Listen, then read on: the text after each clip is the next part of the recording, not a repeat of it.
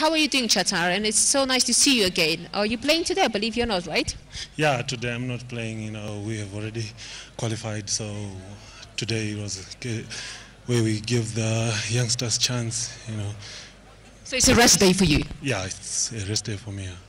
so, what is the main reason, in your opinion, for having chosen to uh, ball first after winning the toss?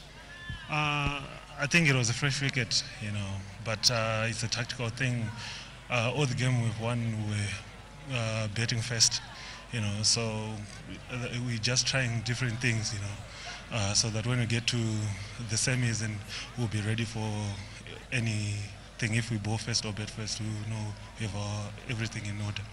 And is it still in your mind that uh, ending up in the top two has an advantage of you know having a, a two shots at the final you know even if the top two loses the qualifier and uh, do you still uh, consider that as an as an important uh, goal for yourself to end in the top two uh, either the first or the second team in the points table yeah, true. That's uh, our main goal. But we had to give everyone chance. You know, uh, the youngsters, if anything is to happen to the senior guys, you know, you, we get injured in the qualifier, everyone has to be up for it. So yeah, we have that at the back of the mind that we have to finish top two so that uh, we have uh, two goals uh, to go into the final.